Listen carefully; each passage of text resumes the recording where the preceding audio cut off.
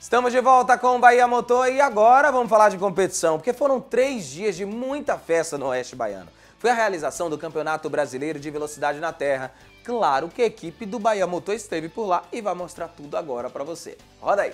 Novo Voyage, conectado com sua vida.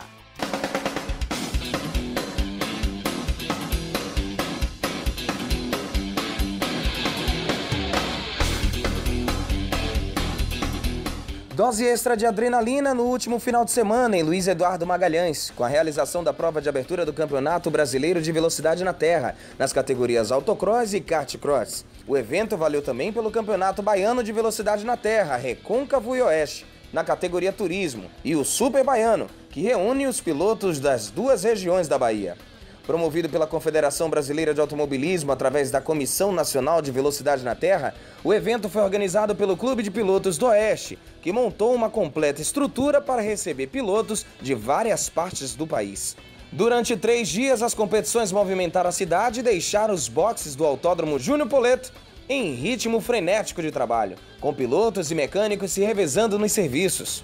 Não faltou nada nos três dias do evento e a união foi o fator fundamental para o sucesso das competições. E isso foi destacado pelo presidente do Clube Pilotos do Oeste. Trabalhamos muito, dois meses aí, é, com preparo de pista, organização, é, ligando para pilotos, confirmando as presenças de todo mundo, todo o Brasil aí do, do, do autocross e mais o kartcross, né? Que nós fizemos a primeira etapa do brasileiro de kartcross a nível nacional aqui em Luiz Eduardo Magalhães, na Bahia. E tudo que o Clube de Pilotos do Oeste da Bahia vem fazendo é, tem o apoio da, do grande número de pilotos que fazem parte desse clube, né? Nós temos hoje 55 associados no clube. Se não fosse a união desses pilotos, a gente não conseguiria fazer um evento tão bonito assim. E também não posso esquecer da Prefeitura de Luiz Eduardo Magalhães, que nos dá um apoio sensacional aqui para a gente poder realizar esse, esse evento. Um dos pontos de destaque no evento foi o serviço executado para molhar a pista, evitando a poeira no circuito do Autódromo Júnior Poleto, o que foi feito de forma extremamente profissional. T9 560, T8 355 e T6 120. Mas o que, que isso tudo tem a ver com velocidade na Terra? Vou mostrar para vocês agora. Prestem bem atenção. Eu estou ao lado de um T9 560 cavalos de potência. Nesta máquina, Múcio Almeida, que está ali em cima e vai descer para conversar com a gente, o Múcio pilota esta fera com 560 cavalos de potência para molhar uma pista de velocidade na Terra. O T8 tem 355 cavalos de potência. E o T6 tem 120 cavalos de potência. É uma cavalaria enorme. Múcio, desce aí dessa, dessas alturas, Múcio, para a gente conversar sobre essa fera que molha as pistas de velocidade na Terra. Esse é o Múcio. O Múcio tem 26 anos de idade e o Múcio pilota esta máquina. Múcio, não é tão difícil pilotar isso não, Múcio? É nada, é fácil. Mas você vem da agricultura e lhe trouxeram para a velocidade na terra. É muito diferente? Ah, é muito diferente, né? Que a gente tem que ter responsabilidade, né, para fazer um serviço desse, né? E não tem nem tanto tempo que você pilota esta máquina. Agora, como é que ela funciona? Ela tem computadores? Explica um pouquinho pra gente, Múcio. É, tem GPS computadorizado, né? E é alto pra caramba. Como você pode ver, tem é, 560 cavalos, né? É muita força.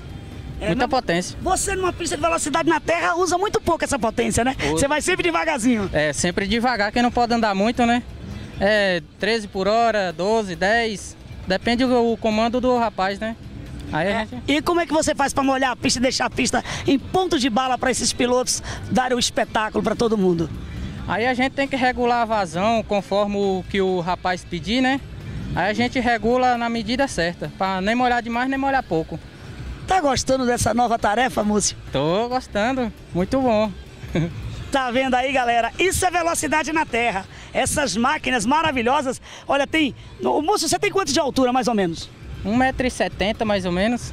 E esse pneu é muito mais alto muito do que a gente. Alto, Vamos lá, alto. vamos encostar aqui, Múcio, pra, pra galera ver. Olha, dá só uma olhada.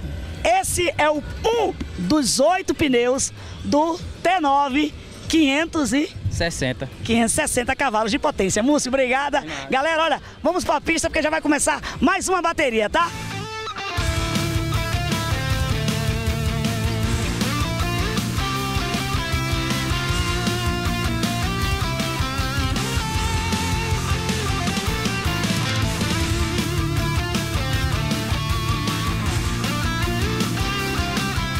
E o programa Bahia Motor está em Luiz Eduardo Magalhães, oeste da Bahia, para acompanhar de pertinho para você, aqui na TVE, todas as emoções do Campeonato Brasileiro de Velocidade na Terra, nas categorias Autocross e na categoria kart cross. Essa categoria desses carrinhos lindos e maravilhosos que você vai acompanhar todos os detalhes aqui. Muita emoção porque são 63 pilotos competindo nesta prova. São 30 pilotos do autocross, são 20 pilotos do kart cross e 13 pilotos da categoria turismo. Acompanhe com a gente, vá! Com várias competições em jogo, o tempo era curto para tantas baterias e a direção da prova não dava folga para os pilotos, alinhando uma bateria atrás da outra, para que todo o cronograma fosse cumprido. Olha, o Campeonato Brasileiro de Velocidade na Terra é disputado com muita adrenalina, principalmente nessa categoria, que é a categoria Autocross, considerada a Fórmula 1 do barro. Realmente são 30 pilotos que estão disputando cada espaço do circuito Júnior Poleto, aqui em Luiz Eduardo Magalhães. É uma disputa pra lá de acirrada. A principal categoria do brasileiro levou para a pista 30 pilotos de diversas partes do país, formando um dos maiores grids dos últimos tempos. Disputas acirradas levantaram público nas arquibancadas e nos boxes. E depois de quatro baterias, o grande vencedor da categoria autocross foi o piloto Rec Júnior, que elogiou o evento e curtiu a vitória. Primeiramente, quero parabenizar toda a equipe organizadora pelo belíssimo evento realizado aqui em Luiz Eduardo Magalhães.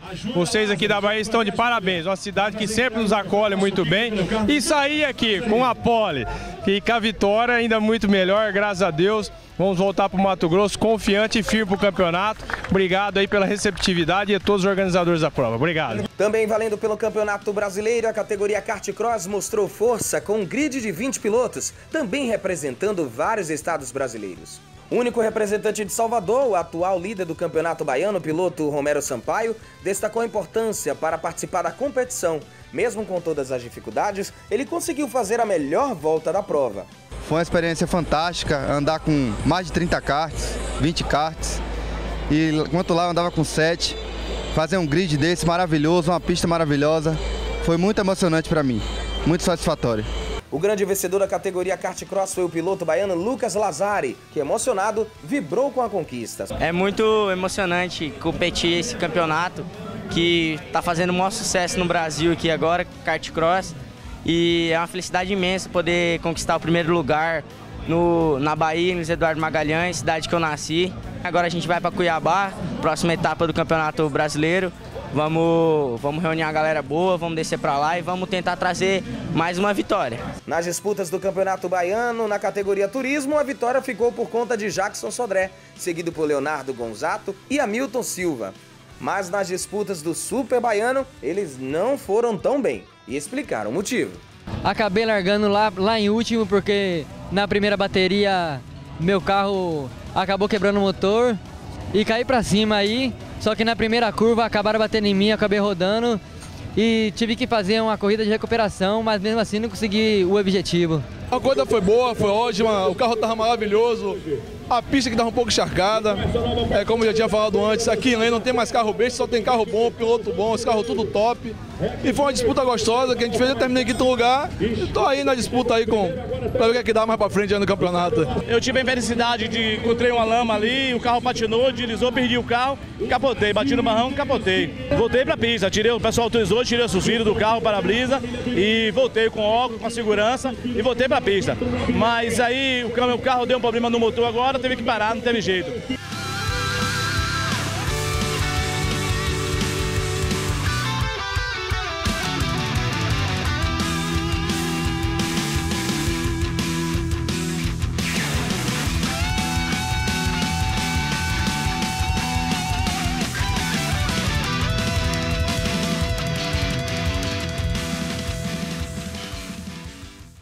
Novo Voyage. conectado com sua vida.